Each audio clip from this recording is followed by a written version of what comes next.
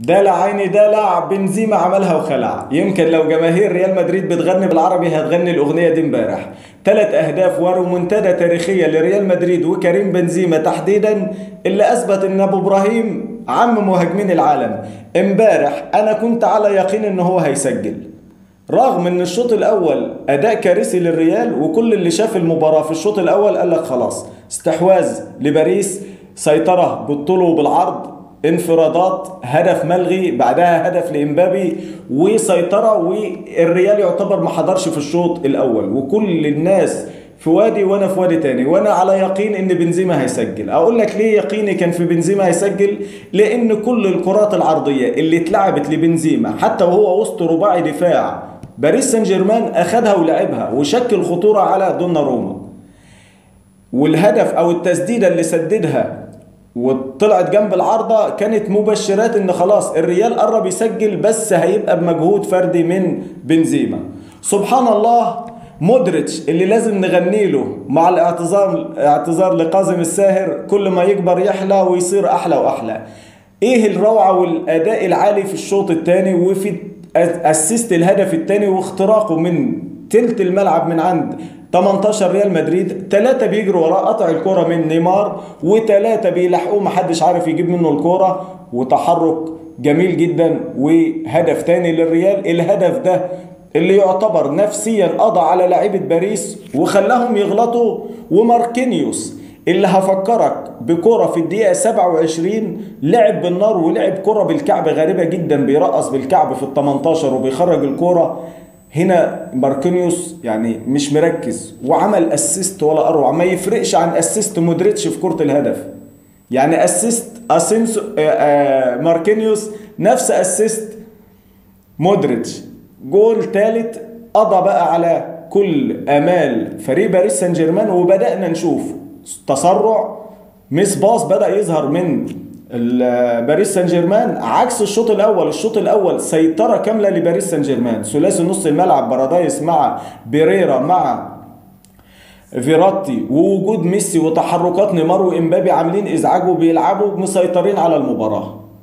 باريس مقفل ناحية فينيسيوس جونيور قاضي عليه تماما بوجود بيريرا. وأشرف حكيمي في الناحية دي ومساندة فيراتي في بعض الأوقات فمقفولة بالضبة والمفتاح.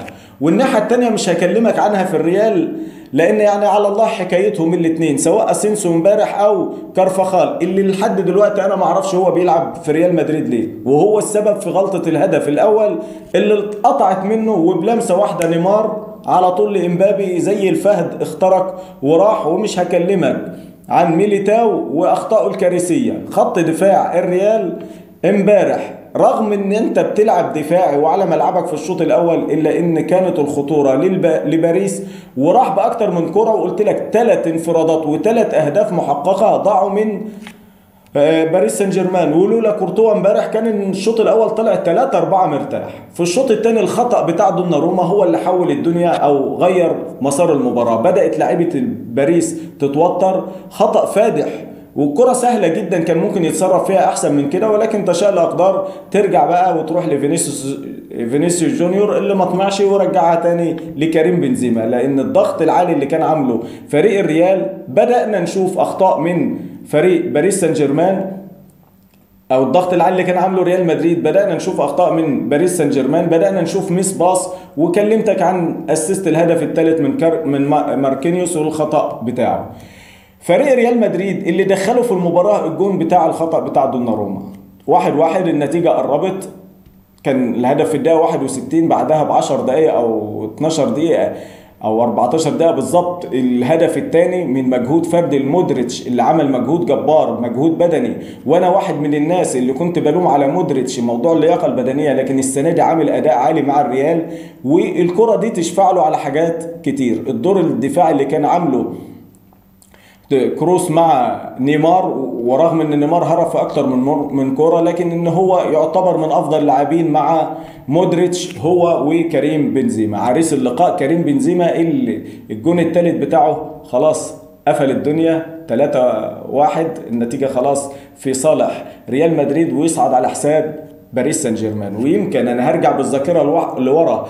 أول ما تعاقد باريس سان جيرمان مع المجموعة ال- الكبيرة من فينالدوم ودوناروما وبعدين ختمها بميسي ووجود ميسي أعظم لاعبي العالم في باريس سان جيرمان أنا كان ليا تصريح جريء مع بعض الناس وقلت لهم باريس سان جيرمان اخره السنة دي الدوري الفرنسي.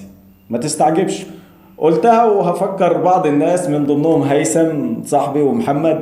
قلت لهم آه، إن الباريس اخره الدوري. وإزاي ويروحوا ويجوا معايا؟ أنا قلت لهم هي قناعات. أنا عندي إحساس كده. حتى توقعي مع برنامج في المرمى على إذاعة صوت الشباب كتبت كده بالنص تغريدة هتشوفها. إن ليفربول هيصعد ولكن مش بالسهولة اللي الناس متوقعاها. وتاني حاجة أحسها للريال. كنت متوقع وعندي إحساس كبير إن الريال هيصعد رغم إن الريال ك- كأفراد وكمنظومة داخل الملعب أقل بكتير من باريس سان جيرمان. ولكن هي قدرات لاعب قدرت تغير الدنيا وهو كريم بنزيما. عشان يثبت لكل الناس إن أفضل مهاجمي العالم ليفاندوفسكي وكريم بنزيما في الوقت الحالي. فنرجع لموضوعنا وقلت إن الباريس مش هيعمل ال- ال- ال- الضجة اللي يعني على قد النجوم اللي فيه والفلوس والإمكانيات اللي هم قاعدين بي- بيعملوا بيها هي مش هتعمل بطولة. فريق البطولة له قدرات ومقومات تانية خالص. الناس بقى اللي بادئة في نغمة تشجيع باريس عشان وجود ميسي إن ميسي موجود. أنا واحد من الناس مثلا كنت بحب ولا زلت يعني. بحب باريس من أيام بابان وبعدها كنت بتابع لاعب عربي مغربي اسمه علي بن عربية كان بيلعب في باريس سان جيرمان فأنا واحد من الناس من المحبين القدامى لباريس سان جيرمان ما حبيتش باريس سان جيرمان عشان وجود ميسي فيه. فيا ريت الناس اللي الوقت بتتكلم عن باريس باريس كقدرات وكأفراد أعظم لاعبي العالم موجودين. لكن هي منظومة إدارة فكر. وسيبك من الإدارة الفنية أنت إزاي أصلا تقدر تتعامل مع كم من النجوم ده وتطوعهم لخدمة الفرقة؟ هي دي الفكرة والحتة النفسية. أنا لما يبقى نيمار وإمبابي وميسي ثلاثي المقدمة. النفسية بينهم عاملة إزاي؟ بكلمك كلام ممكن ملوش علاقة بالكورة ولكن هو ده اللي بنشوفه في فرق كتيرة. انت شوف اي فرقة فيها نجمين أو ثلاثة بتلاقي فيه مشكلة معاهم. ولما يعني مانشستر يونايتد مش بعيد. الصدام اللي حصل ما بين رانجينيك ورونالدو ورونالدو وماجواير قبل كده على شارة القيادة ففي مشاكل بتحصل من الحاجات دي. بناء عليه أنا كان ليا وجهة نظر في الموضوع ده. مش هطول عليكم كتير. المهم إن إحنا استمتعنا امبارح وكده هننتظر بقى باقي مباريات دور ال 16 عشان نعرف ثمان فرق اللي هيصعدوا والقرعة هتتم على إيه؟ ونبدأ نتكلم عنها. ملخص سريع كده لأحداث المباراة والنقاط اللي كنت حابب أتكلم فيها اللي هي وجود كارفخال في الريال بالنسبة لي علامة استفهام كبيرة ماركينيوس وأخطاء ساذجة أهدت الفوز للريال هو ودوناروما. أداء عالي من بنزيما يستاهل عليه كل التحية. مبروك للريال و hard luck لباريس سان جيرمان وأشوفكم في حلقة جديدة وفيديو جديد. بس يا ريت لو عجبك الفيديو تنزل تشترك في القناة وتفعل زر الجرس. وحاول ت share الفيديو على قد ما تقدر عشان نوصل لأكبر عدد من المتابعين. شكرا لحضراتكم. السلام عليكم.